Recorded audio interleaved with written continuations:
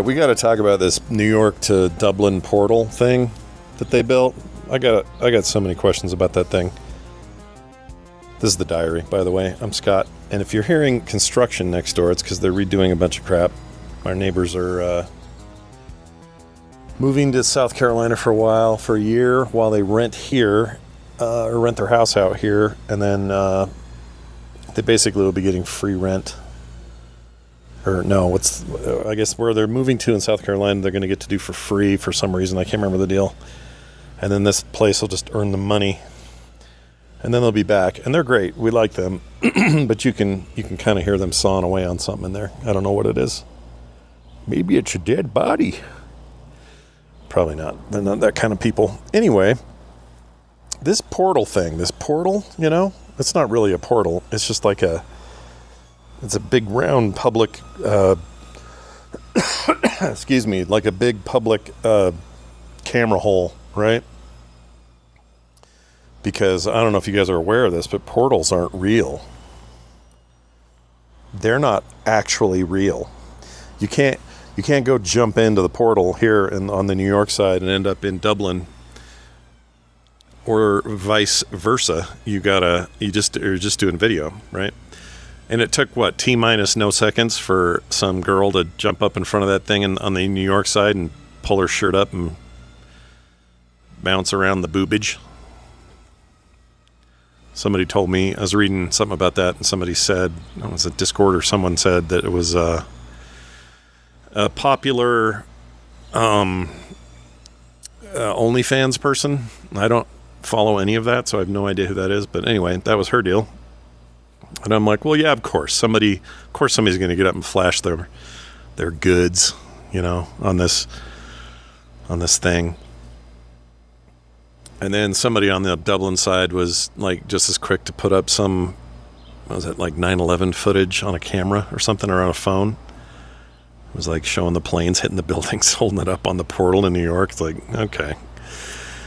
So everyone's stupid, really, is what that proves. But also, um, here, here's here's my thinking. All right, so somebody sat around. I don't know who did it. I don't know who's in charge or who got the money or whatever. But somebody was sitting in a room and they were planning this out, and, and somebody said, you know, what we ought to do is we ought to put a big uh, camera, you know, and a big uh, round portal looking thing.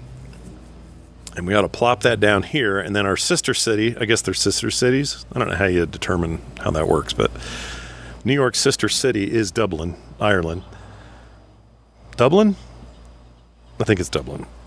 Now, now I'm wondering if I've got the right Irish city. I think I do.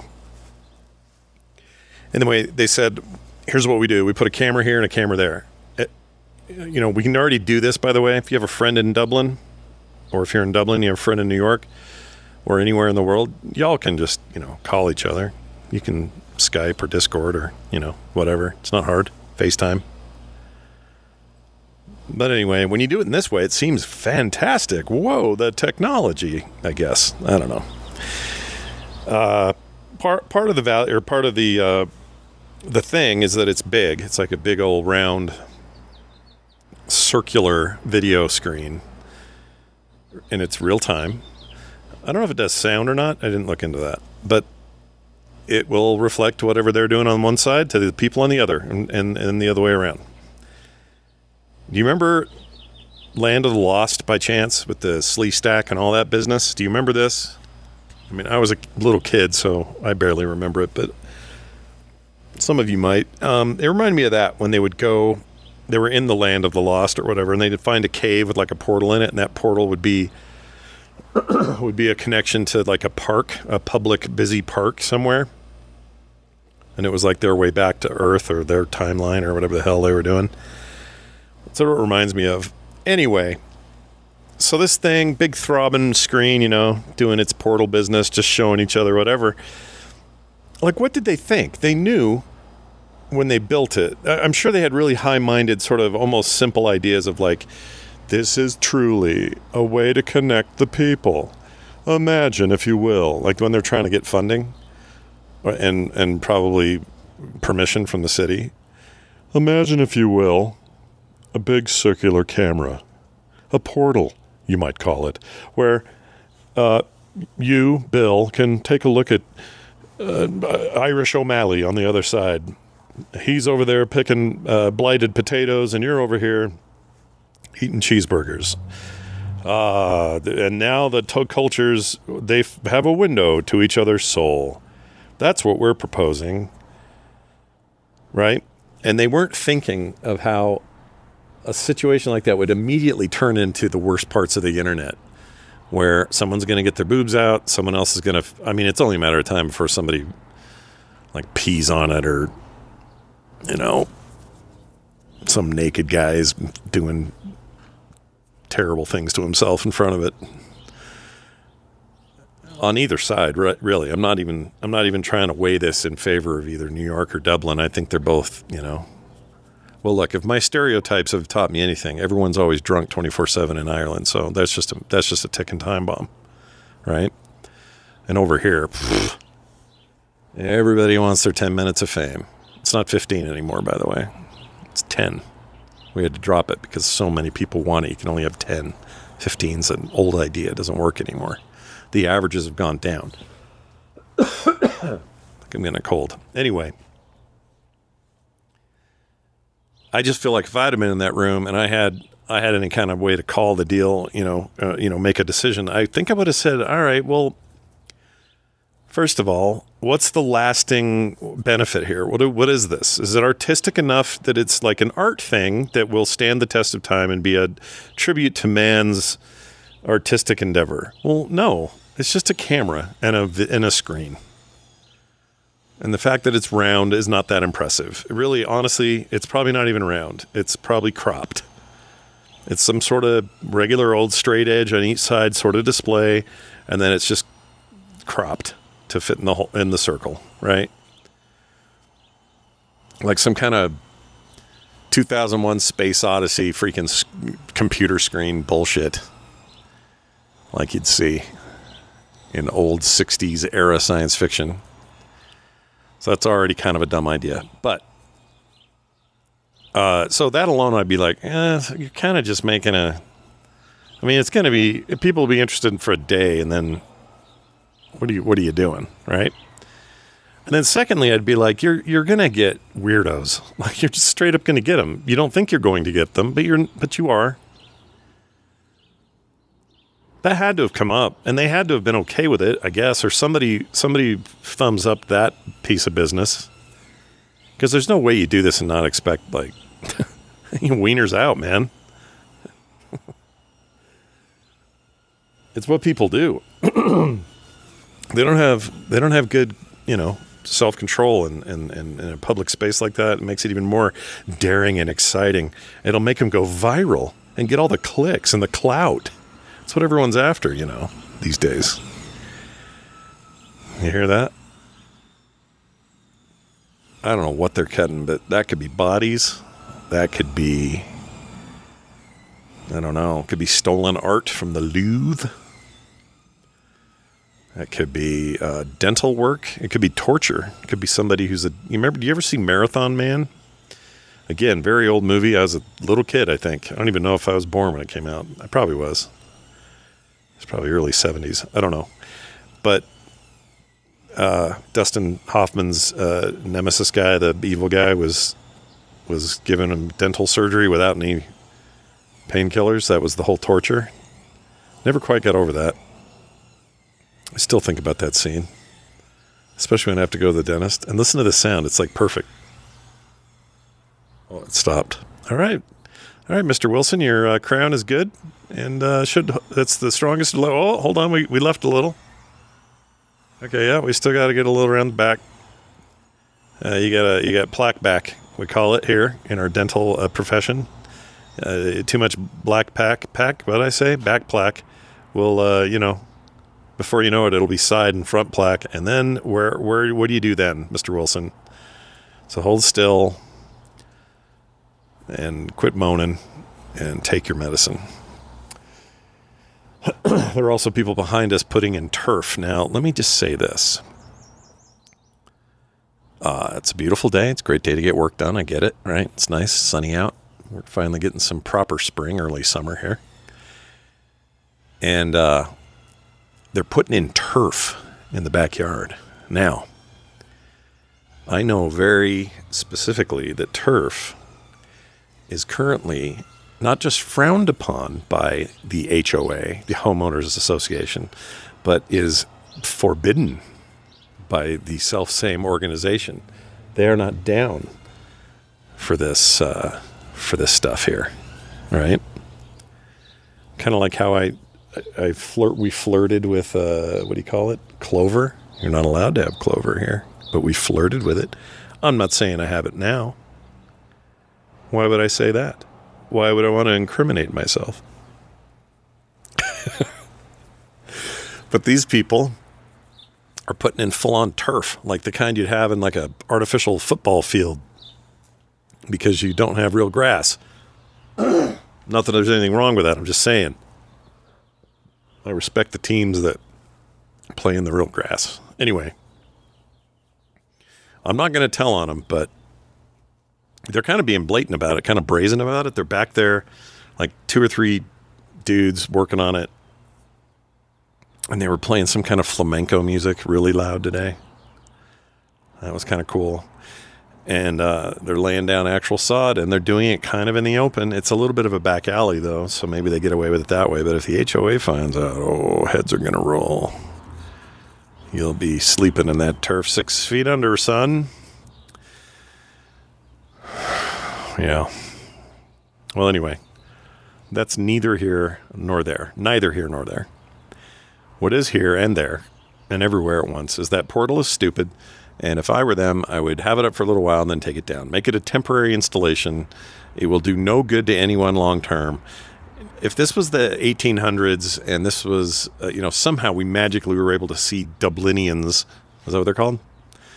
Uh, in real time through some sort of you know magical portal, well, well, you'd all be thrilled. This would be as big as the Empire State Building, maybe or not Empire State Building. Uh, what's her name? The Statue of Liberty. It'd be as big as that. The the gift we got from France. It would be that and more, right? But that's not when we live. We live in a time where anybody with a phone in their pocket can do this for free, and it's just not a, it's not that big a deal.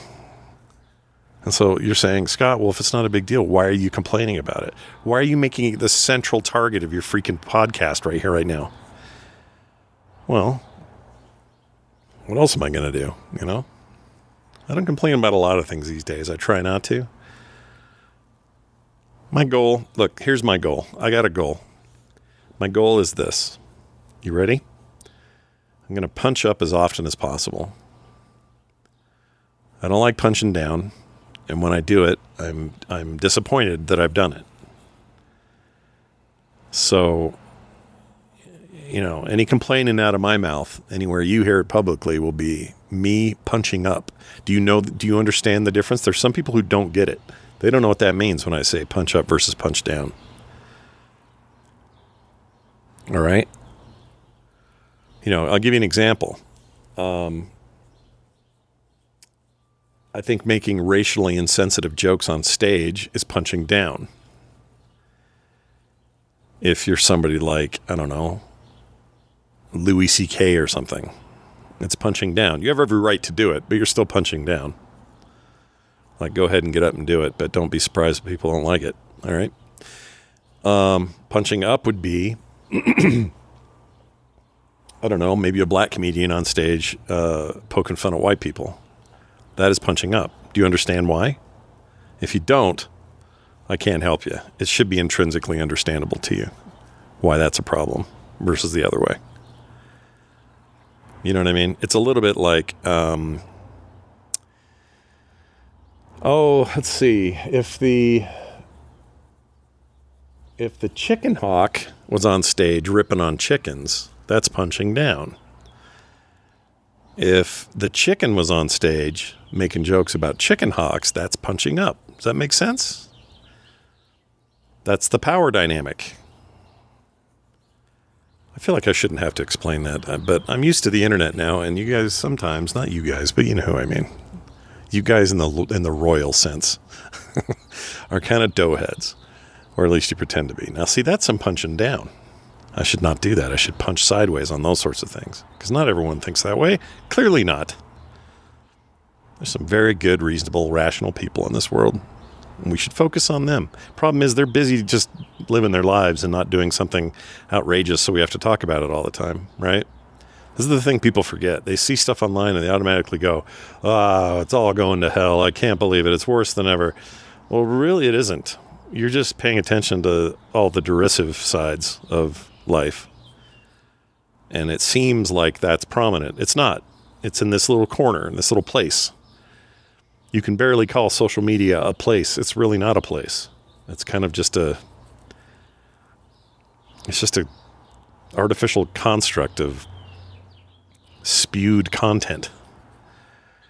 None of it means anything, really. It's not indicative of anything. It's not. I mean, it's, I suppose you could measure trends in social media within social media, but to the larger world, like it doesn't fit. It doesn't match up. The math is wrong.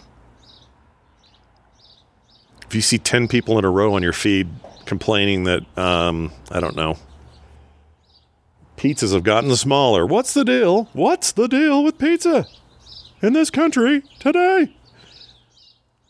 And you think all pizzas have gotten, uh, you know, since 1985, uh, the average pizza has shrunk 5%.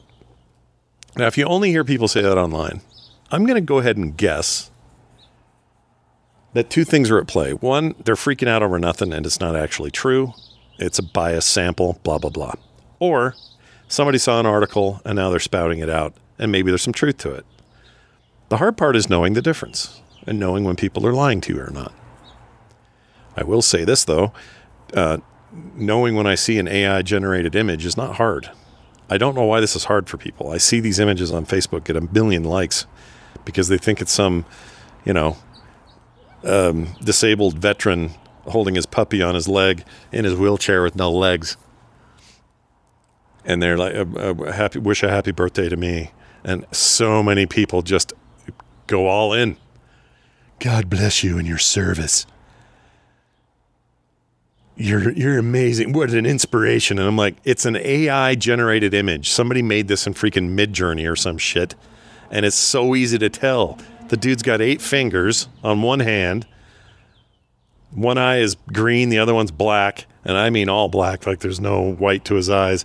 His glasses have no uh, rims for some reason, and his dog is missing its hindquarters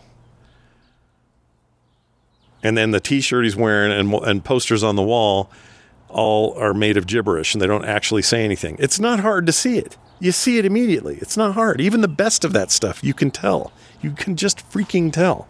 So people, pull your eye out of your socket, dust it off, blow it off, suck on it if you have to.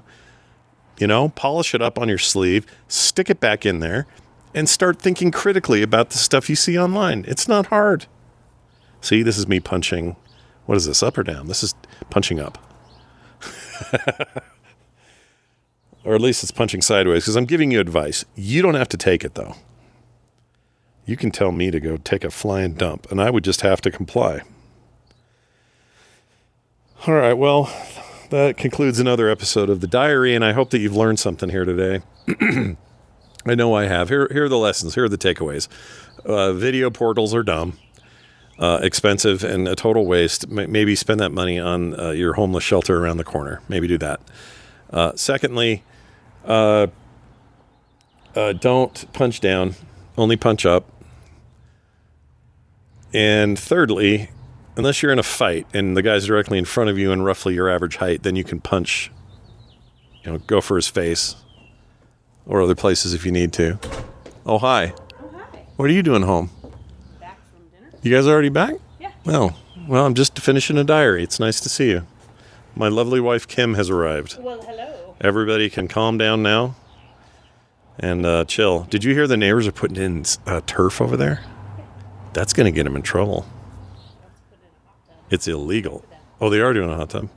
Yeah, but the turf is HOA non-compliant, kind of like the clover we don't have.